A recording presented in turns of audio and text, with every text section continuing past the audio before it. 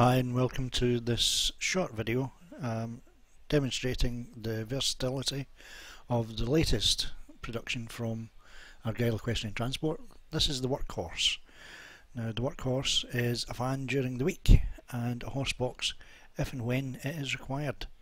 This gives you the benefit of having two vans um, and having the outlay for only one.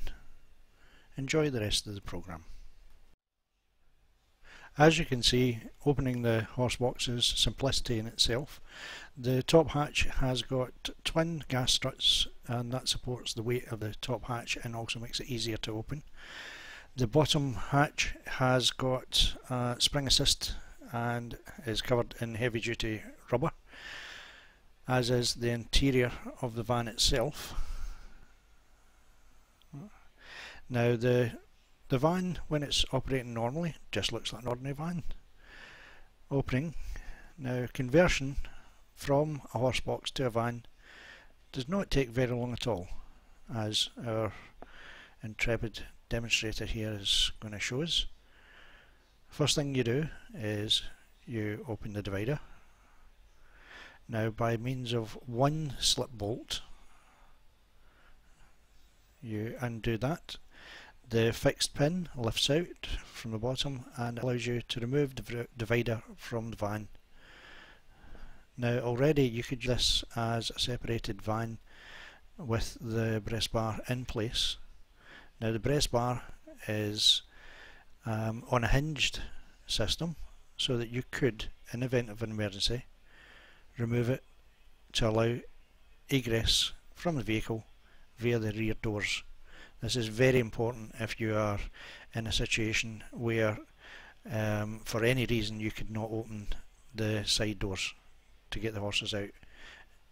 This has caused um, terrible tragedies um, in the past year or so um, on a couple of occasions.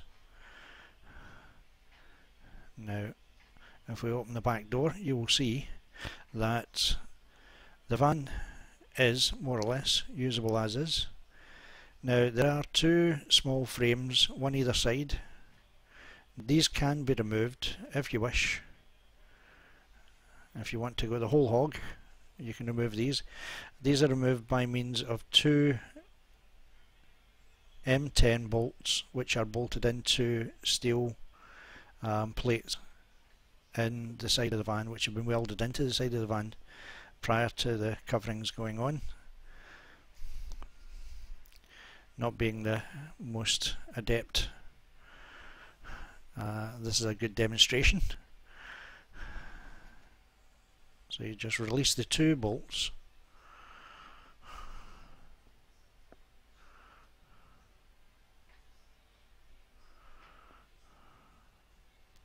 Now the frames, the one that's being worked on at the present moment in time is actually the the one that the slip bolt from the breast bar goes into. Now as well as having a bolt into each side of the van into pre-welded heavyweight steel plates to provide the, the strength and security. The door can be just closed over and a slip bolt so you can open and close this the breast bar partition at any time. A beautiful assistant here, haha, um, is just unbolting the second panel. Nearly there. As you can see, converting from a horse box to a van is approximately five minutes work.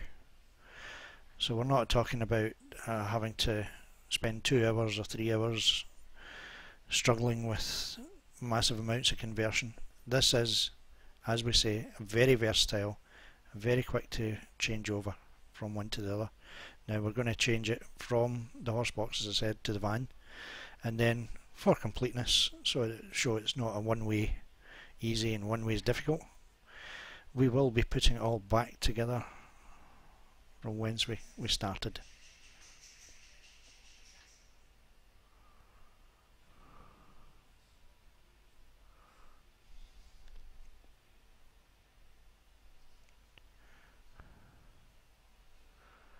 Almost there.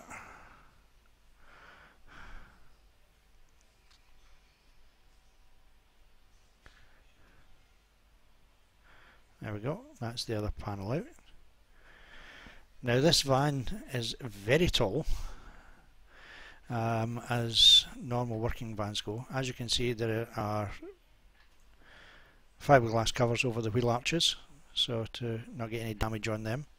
The floor matting, the heavyweight duty, the heavy duty rubber floor matting can be removed from the horse um, area. Now with the side doors closed there you have fully operational high top long wheelbase um, van for general purpose use. Now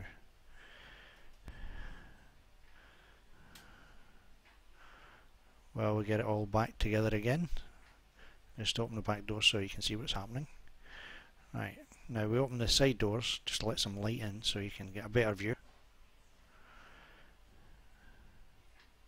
Now if you take the, the flooring uh, out you have got steel floor then half inch plywood. That half inch plywood has then been resin bonded and there are fiberglass strips over all joints on the flooring the plywood has been resined the wall panels are all plywood and they are bonded with fiberglass tape to the floor area and the walls were resin bonded up to um, a height of 300 mil. So basically the floor in the horse section of the van is fully tanked.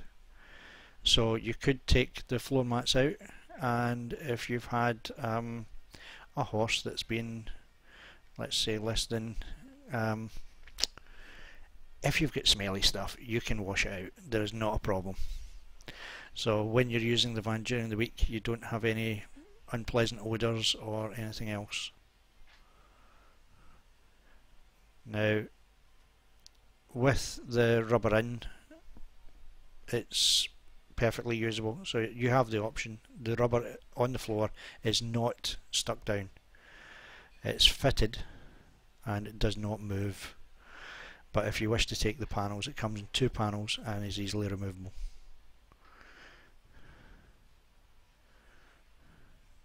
The line lining in the van is rubber in the horse area uh, with vinyl over all other uh, bulkheads. The windows at the back of the van also lock so they're not they are quite secure. These could have um, film fitted to prevent anybody seeing into the van should you wish some further security.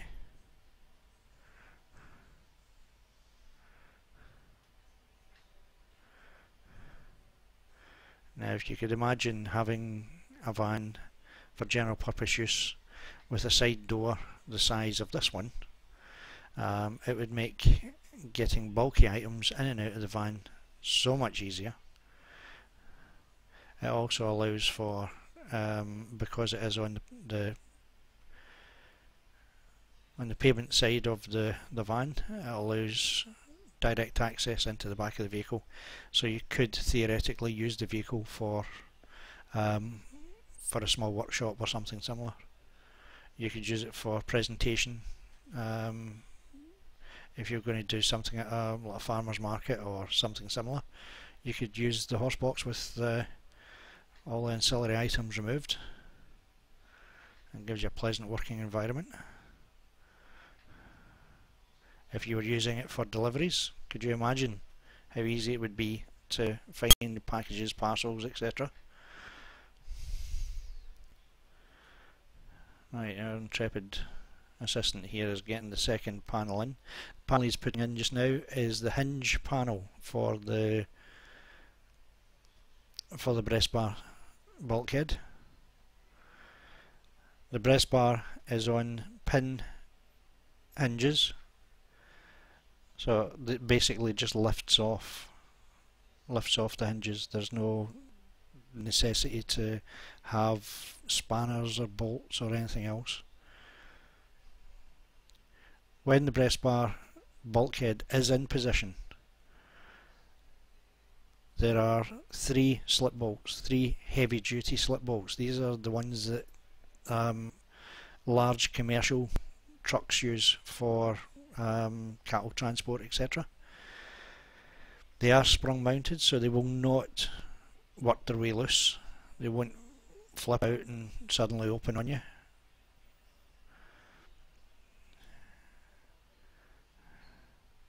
Um, you will see shortly. Here we come. This is the, the breast bar divider. As you can see, fitting it back onto